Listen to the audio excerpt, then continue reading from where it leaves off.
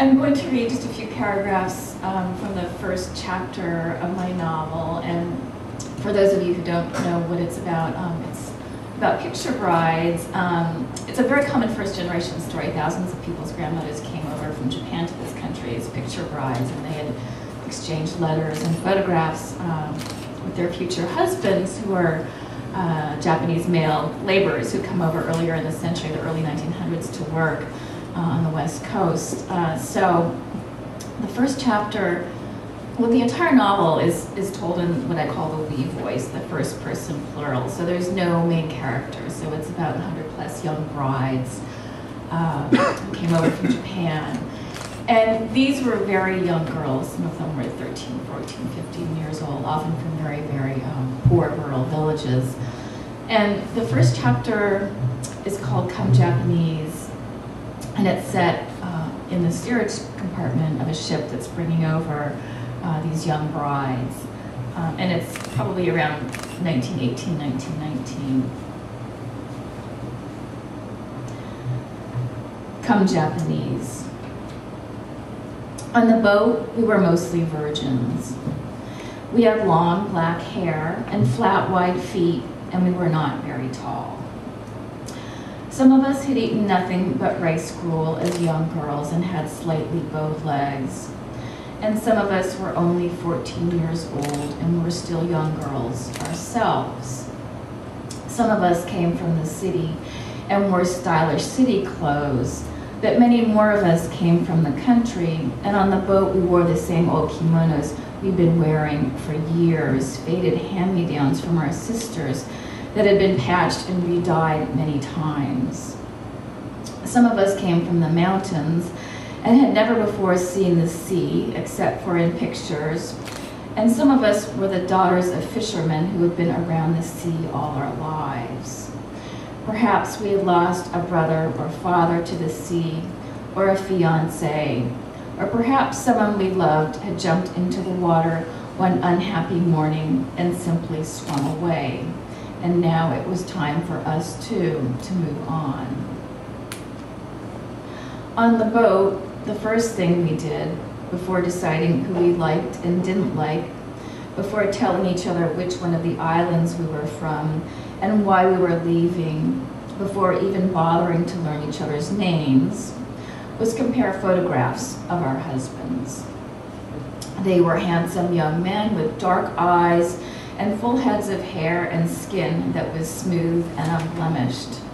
Their chins were strong, their posture good, their noses were straight and high. They looked like our brothers and fathers back home, only better dressed in gray frock coats and fine Western three-piece suits. Some of them were standing on sidewalks in front of wooden A-frame houses with white picket fences and neatly mowed lawns, and some were leaning in driveways against Model T Fords. Some were sitting in studios on stiff high-back chairs with their hands neatly folded and staring straight into the camera as though they were ready to take on the world. All of them had promised to be there waiting for us in San Francisco when we sailed into port. On the boat, we often stood on the deck for hours with the wind in our hair watching the other passengers go by. We saw turbaned Sikhs from the Punjab who were fleeing to Panama from their native land. We saw wealthy white Russians who were fleeing the revolution. We saw Chinese laborers from Hong Kong who were going to work in the cotton fields of Peru. We saw King Lee Ovanovich and his famous band of gypsies who owned a large cattle ranch in Mexico and were rumored to be the richest band of gypsies in the world. We saw a trio of sunburned German tourists and a handsome Spanish priest and a tall, ruddy Englishman named Charles who appeared at the railing every afternoon at quarter past three and walked several brisk lengths of the deck. Charles was traveling in first class and had dark green eyes and a sharp pointy nose and spoke perfect Japanese and was the first white person many of us had ever seen.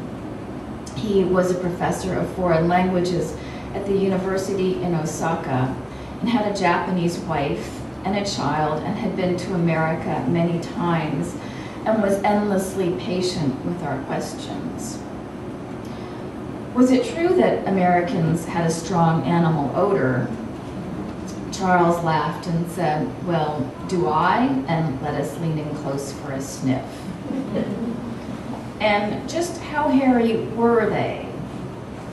About as hairy as I am, Charles replied.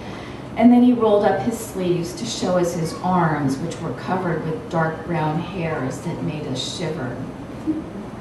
And did they really grow hair on their chests? Charles blushed and said he could not show us his chest, and we blushed and explained that we had not asked him to. and were there still savage tribes of red Indians wandering all over the prairies? Charles told us that all the red Indians had been taken away, and we breathed a sigh of relief. And was it true that the women in America did not have to kneel down before their husbands or cover their mouths when they laughed? Charles stared at a passing ship on the horizon and then sighed and said, sadly, yes. Mm-hmm. And did the men and women really dance cheek to cheek all night long? Only on Saturdays, Charles explained. And were the dance steps very difficult? Charles said they were easy and gave us a moonlit lesson on the foxtrot the following evening on the deck. Slow, slow, quick, quick. And was downtown San Francisco truly bigger than the Ginza? Why, of course.